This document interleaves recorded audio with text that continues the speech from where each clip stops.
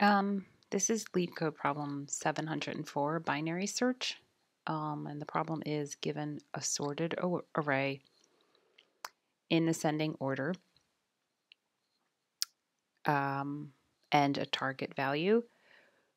Write a function that will return the index that matches the target value. Uh, and if you can't find the target value, then you can return negative 1. So for example, the input here is this array that we're given. The target value is 9, and the output is 4 because index 0 is negative 1, index 0 is index 1 is 0, index 2 is the value of 3, index 3 is the value of 5, and index 4 is the value of 9, which is the target, and so we're returning 4. Um, here we're returning negative 1 because the target is 2, and after searching through this array, there's no value that is 2, so the output is negative 1. So drawing up the plan here, um, when given an array, that is in order, any kind of order, either ascending or descending, um, you have to use binary search because it has a better um, complexity analysis than um, just searching one by one from left to right. So we'll use binary search.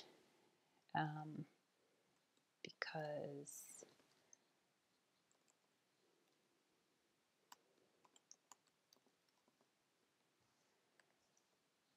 that has a complexity of O log n as opposed to n. Um, so for our plan, um, first what we're going to do is just return a negative 1. Um,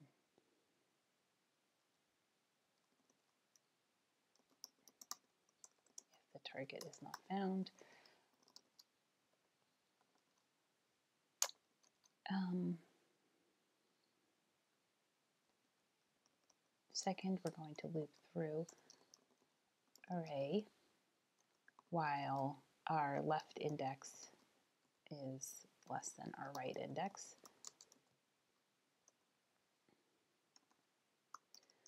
Three, uh, we're going to, while we're in the loop, each time we're going to calculate our middle index and four. Next, we're going to do one of three things with our middle index value.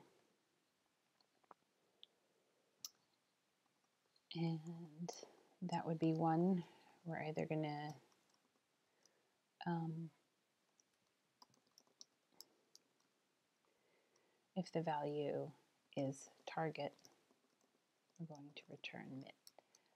Um, two, if the value is less than target, we're going to set right index um, to be mid minus 1.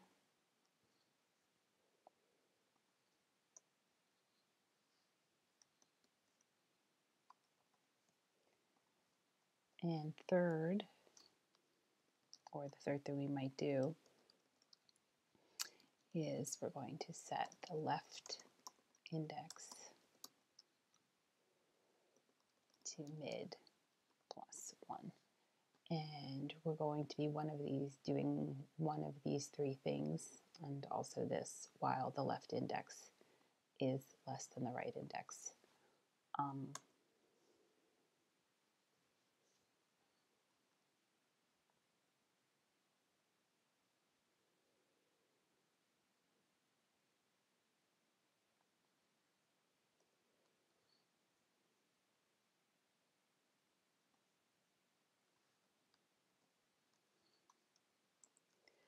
So we're only going to need, so this is a little illustration of what the binary search is going to look like. We have this blue arrow is representing the left index with a value of 0. This right arrow is representing the right cursor with a value of 5.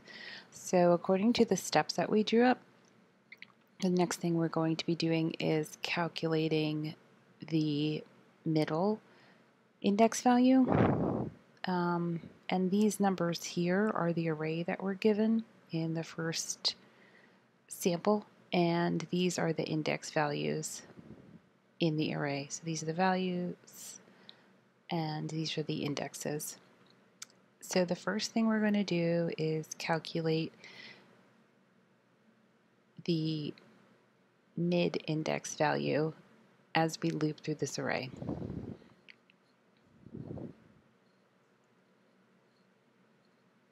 So we calculate the mid-index by using the left index value plus the left minus right divided by 2. And the reason that we do this is because if you don't calculate the mid this way, um, the value of the int might overflow and go into a negative value and you could get the wrong value for your int. So I'm going to post in the bottom of the video uh, write up of why this is, but for now, this is an important thing to remember how to calculate mid index value in a binary search. And here we have 5 divided by 2. And in Java, when you have any remainder, when you are dividing integers, it's just ignored. So we are left with a mid index value of 2.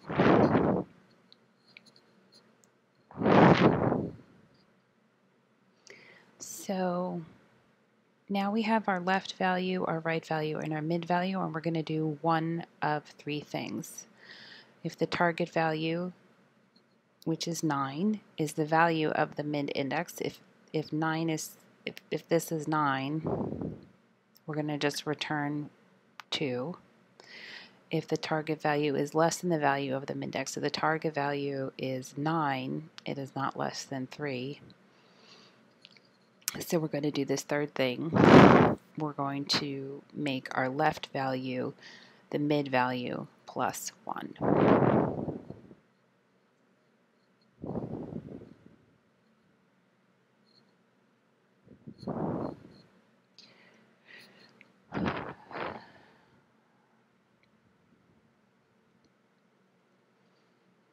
And now our loop is going to continue. So mid plus 1 is index 3. Our right is left at index 5. So now we're going to stop, start again at the top of the loop and calculate mid. So the mid is left plus left minus right divided by 2, which gives us 4. And then we have our three steps here. So if the target value is the value of the mid index, so our target value is 9, and the value of 4 index 4 is also 9, so we are going to return index, we are going to return 4. Um, we're going to ignore the rest of these steps in this case.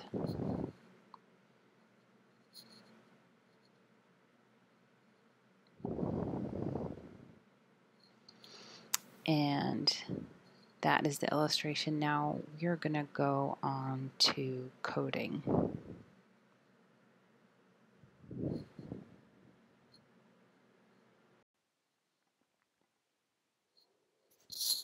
Okay, so now is the coding part, and we're not going to need many things.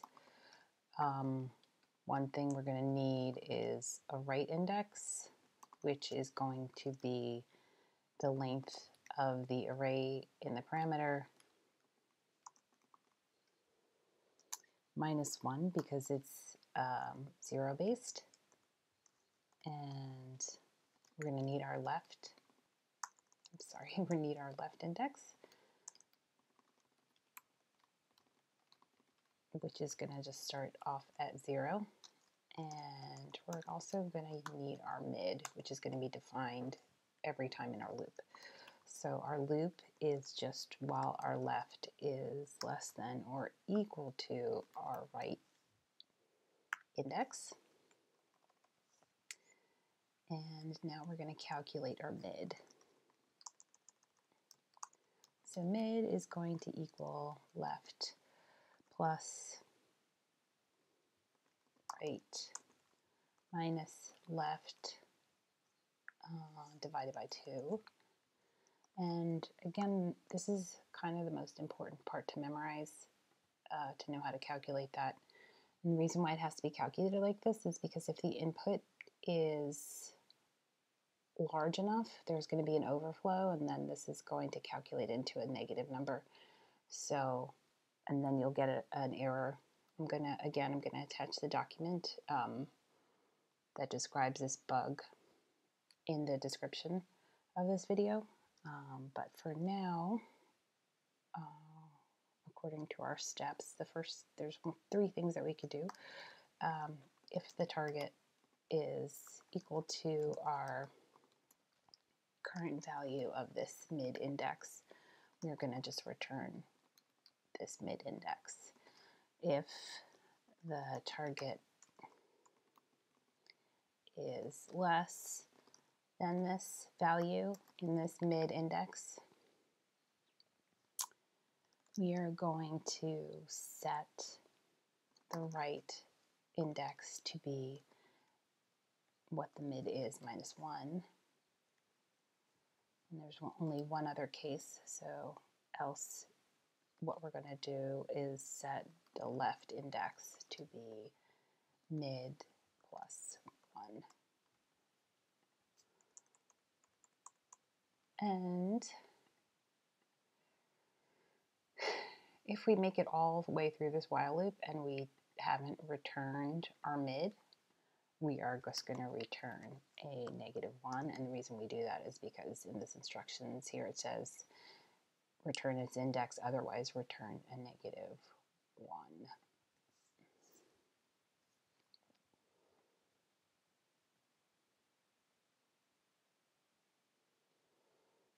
And that should work.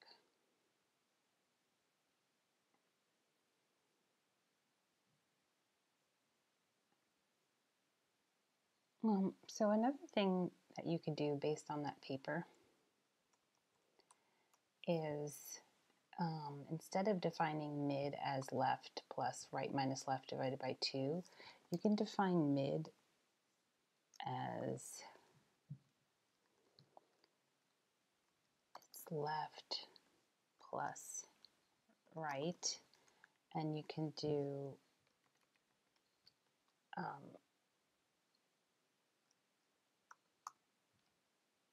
up bit shift to 1.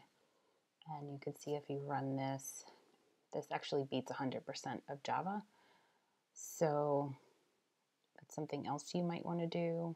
Um, but I would also look into why this works. It's a little bit more complicated. Um, and that's it. Thank you.